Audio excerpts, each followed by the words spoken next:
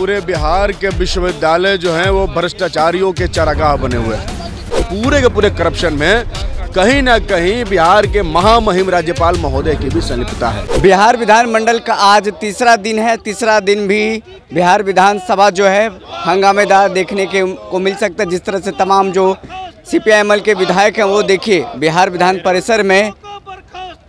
प्रदर्शन कर रहे हैं और साथ ही कई पोस्टर लेकर के हाथ में खड़े हैं, जिसमें कि एल एम एन यू के कुलपति व कुल सचिव की नियुक्ति प्रक्रिया की जाँच कराओ, और साथ ही साथ तमाम जो विश्वविद्यालय में लूट का अड्डा बने हुए राज्यपाल को बर्खास्त करने की मांग हो रही। साथ ही साथ आपको बता दें कि भ्रष्ट जो अधिकारी हैं, उन पर कड़ी कार्रवाई करने के लिए तमाम जो सी के विधायक हैं, वो विधान परिषद के जो परिसर है, वहाँ पर देखिए किस तरह से आंदोलन कर रहे हैं, और अंदर जो बातें सामने आ रही है कि आज भी विधानसभा का जो तीसरा दिन का सत्र है, वो भी आज हंगामेदार रहेगा, जिस तरह से तमाम जो यूनिवर्सिटीज़ में घोटाले सामने आ रहे हैं, जिसको लेकर कहा जा रहा है कि आज भी तमाम मुद्दों को लेकर के विपक्षी पार्टी सत्ता पक्ष को घेरने का प्रयास करेगी। बीते दिनों हमने देखा था शराब को लेकर के किस तरह से मामला पूरा गर्म हुआ था और जिसके बाद बिहार विधानसभा के परिसर में जब शराब की बोतलें मिली थी, तब नीतीश कुमार ने जाँच करने को कहा था और साथ ही साथ इसको लेकर के बिहार के मुख्य सचिव और साथ ही साथ बिहार के डीजीपी और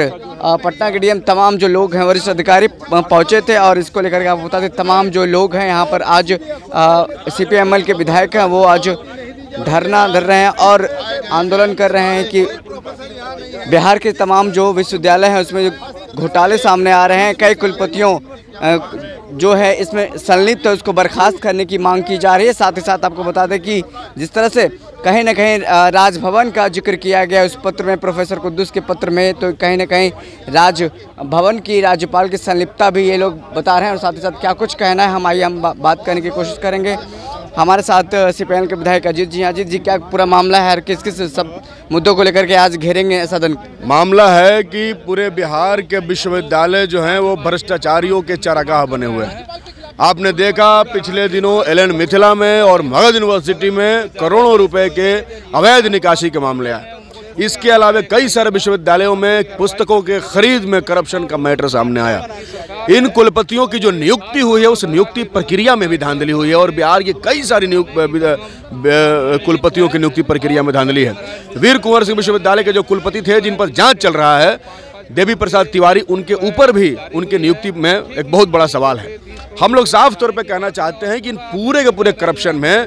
कहीं ना कहीं बिहार के महामहिम राज्यपाल महोदय की भी संलिप्तता है। इसलिए हम सरकार से मांग करते हैं कि सबसे पहले जाँच तो हो इन कुलपतियों और कुल सचिवों की नियुक्ति और इनकी उड़ाही पर भी, इसके साथ जाँच राज्यपाल की भूमिका पर भी होनी चाहिए कि कैसे इन कुलपतियों को नियुक्त किया गया है। आप लोग राज्यपाल को बर्खास्त करने की मांग कर रहे हैं राज्यपाल संवैधानिक पद है, उनको राष्ट्रपति हटा सकता है। ऐसे में क्या एक सवाल है कि आप जो मांग करें, हटाने किससे मांग कर रहे हैं? हाँ तो बिहार विधानसभा से हम मांग करते हैं कि वो प्रस्ताव लाए और राष्ट्रपति महोदय को भेजे प्रस्ताव।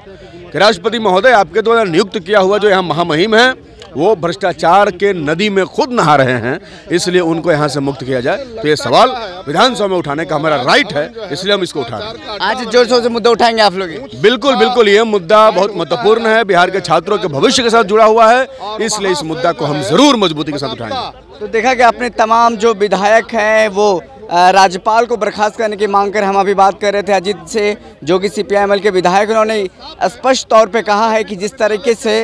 कुलपति जो काम कर रहे हैं वो बिल्कुल भ्रष्ट है वो और जो तमाम जो कॉपी खरीद का मामला है उसमें भ्रष्टाचार के साम, मामला सामने आया है जो यूपी ऐसे जो कई बार जो कल जो देखा था हमने कि कई लोग ये कह रहे थे कि यूपी से क्यों बनाए जा रहे हैं शिक्षाविद बिहार के विश्वविद्यालयों के वीसी क्या बिहार में विद्वान की कमी हो गई? तो आज आप साफ़ तौर पे कैमरे में देख सकते हैं कि सीपीआईएमएल के जो तमाम विधायक हैं वहाँ पे खड़े हैं विधान परिषद में वो प्रदर्शन कर रहे हैं और हंगामे आज आ, के आसार नज़र आ रहे हैं कि आज तीसरा दिन भी पूरा सदन बिहार विधानसभा का सदन जो कार्यवाही चलेगा वो पूरा हंगामेदार होने के आसार है। तमाम जो यूनिवर्सिटीज़ में धांधलियाँ पाई गई जिसके बाद से बिहार के तमाम राजनीति राजनीतिक दल हैं वो पूरा पूरे तरह से एक्टिव हो गए हैं। अब इस मामले को विधानसभा में पूरी पुरजोर तरीके से उठाएँगे। बहुत बहुत धन्यवाद।